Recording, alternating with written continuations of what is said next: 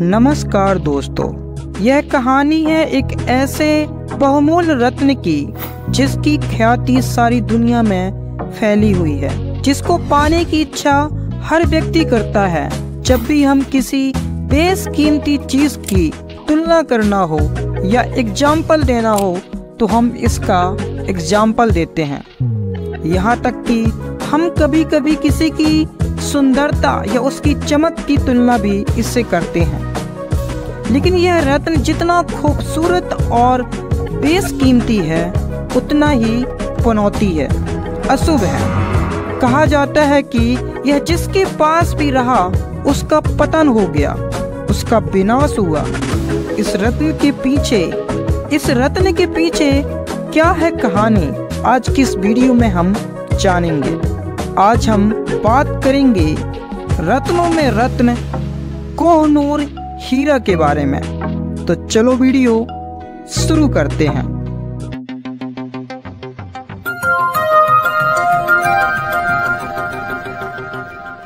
दोस्तों, हीरा तो बहुत हैं। हीरे के खदान भी बहुत हैं। लेकिन कोहनूर हीरा अभी तक तो दूसरा कोई नहीं हुआ। लेकिन जैसा हीरा, कोहनूर हीरा है, ऐसा हीरा न तो अभी तक हुआ और भविष्य में इसकी हम उम्मीद भी नहीं करते।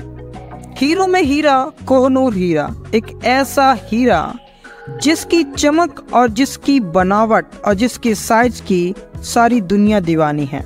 कोहनूर हीरा, जिसका अर्थ है प्रकाश का पर्वत यह अपनी अपार सुंदरता और रहस्यमय अतीत के साथ सदियों से लोगों की कल्पना पर कब्जा करे हुआ है। लोग यह सोचने पर मजबूर हो गए हैं कि यह इतना विशाल और इतना बेसकीमती इतना प्रकाशमान कैसे है? और इतनी विशेषता होने के बाद भी यह पनौती कैसे हो गया? इसे पाना तो हर कोई चाहता है, लेकिन इसे अपने पास रखने नहीं चाहता, क्योंकि यह अपने आप में एक बहुत बड़ी चुनौतीपूर्ण कार्य है।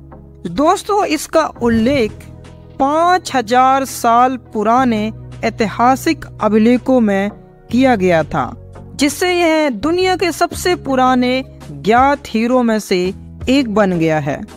इसका वज़न 105.6 कैरेट 21.12 ग्राम है। दोस्तों, इसके मूल वज़न का हमारे पास कोई रिकॉर्ड नहीं है। यह हीरा का आकार 3.6 सेंटीमीटर लंबा 3.2 सेंटीमीटर चौड़ा और 1.3 सेंटीमीटर गहरा है। कोहनूर हीरा दक्षिण भारत के गोलकुंडा की खदान से मिला बहुमूल्य रत्न है। इसका वास्तविक आकार कितना बड़ा था, इसका कोई प्रमाण हमारे पास उपलब्ध नहीं है। लेकिन यह हीरा दक्षिण भारत के एक मंदिर की मूर्ति में स्थापित था। चौदहवीं सदी में, जब अलाउद्दीन खिलजी ने अपने दक्षिण विजय आरंभ किया तो उसने मंदिर में स्थापित देवी की मूर्ति की आँख से इस हीरे को चुराया था और चुरा कर इसे दिल्ली ले आया था। तब से यह हीरा दिल्ली राज दरबार की शोभा बना रहा है। दिल्ली सल्तनत काल खत्म होने के बाद यह हीरा मुगलों के हाथ में आ गया। बाबर हुमायूं और अकबर जैसे महान सम्राटों के शक्ति का प्रतीक बना रहा। शाहजहां ने इसे अपने मयूर सिंहासन में लगाया था ताकि सिंहासन की शोभा को बढ़ाया जा सके। औरंगज़ेब ने इसके आकार को अच्छा बनाने के लिए, इसे तराशने के लिए जौहरी को दिया, लेकिन उसने इसको इतना ज़्यादा तराश दिया कि इसके कारण इसका आकार छोटा हो गया। कहा जाता है कि इससे औरंगज़ेब क्रोधित हो गया और उसने उस जौहरी को दंडित किया था।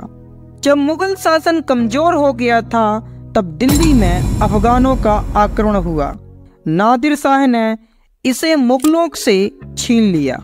और आपको यह भी बता दूँ कि पहली बार नादिर शाह ने ही इस हीरे को कोहनूर कहकर संबोधित किया था, जिसका अर्थ होता है प्रकाश का पर्वत।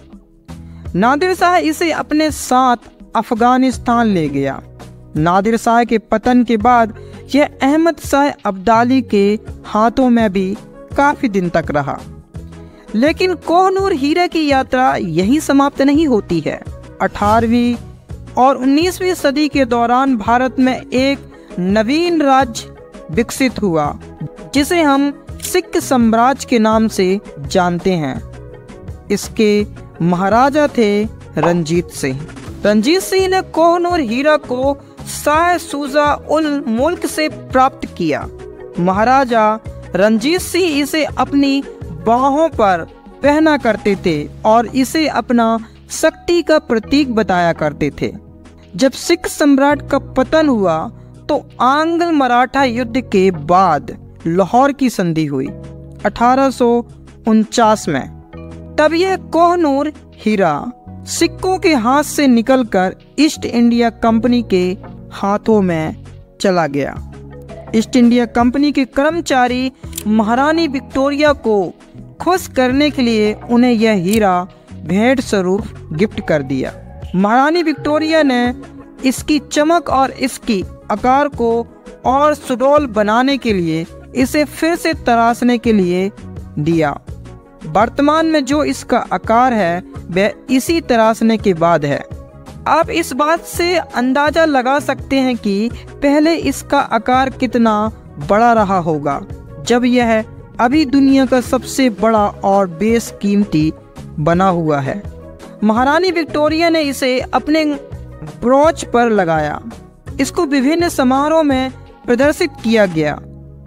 महारानी विक्टोरिया के बाद यह रानी अलेक्जेंड्रा और बाद में किंग जॉर्ज पंचम की पत्नी क्वीन मैरी द्वारा इसे पहना गया।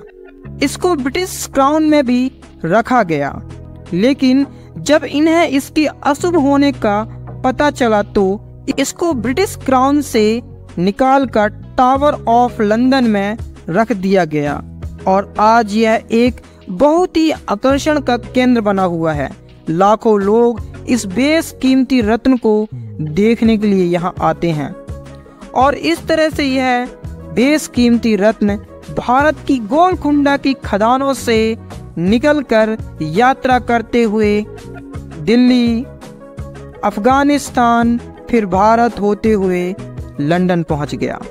दोस्तों, अब आप सोच रहे होंगे कि यह पनौती और अशुभ कैसे हुआ? अभी तक मैंने आपको इसकी यात्रा की कहानी सुनाया हूँ। अब आगे आपको बताता हूँ इसके अशुभ होने की कहानी। दोस्तों, इसको अशुभ मानने वाले ये तर्क देते हैं कि जिस भी व्यक्ति या जिस भी राजवंश ने इसे धारण किया, चाहे वो खिलजी राजवंश हो मुगल राजवंश हो या फिर नादिर शाह, अब्दाली शाह, इनके राजवंश। हो या सिख राजवंशी क्यों ना हो, सभी का पतन हुआ। ये सभी धीरे धीरे करके समाप्त हो गए। इसको प्राप्त करने के बाद कोई भी राजवंश स्थायी नहीं रहा। उसका पतन होना शुरू हो गया था। कहा जाता है कि ब्रिटेन के साम्राज्य का कभी सूर अस्त ही नहीं हुआ करता था।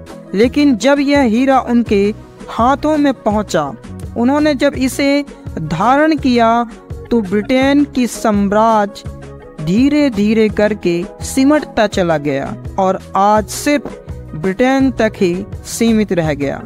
इसीलिए कुछ लोग इसे पुनौती या अशुभ मानते हैं और कहते हैं कि जिसने भी इसे धारण किया, उसका पतन हुआ। दोस्तों, इसके बारे में आपकी क्या राय है? मैं मानता हूँ कि आप में से बहुत सारे लोग इसे एक अंधविश्वास मानते होंगे। लेकिन जो व्यक्ति इसे अशुभ मानते हैं या पनौती मानते हैं, वह इसके बारे में विभिन्न तर्क देते हैं। इनमें से मैंने सिर्फ़ आपको एक ही तर्क बताया है।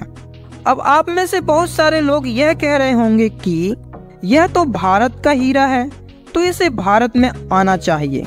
हालाँकि इसकी मांग आजकल बहुत तेज हो चुकी है।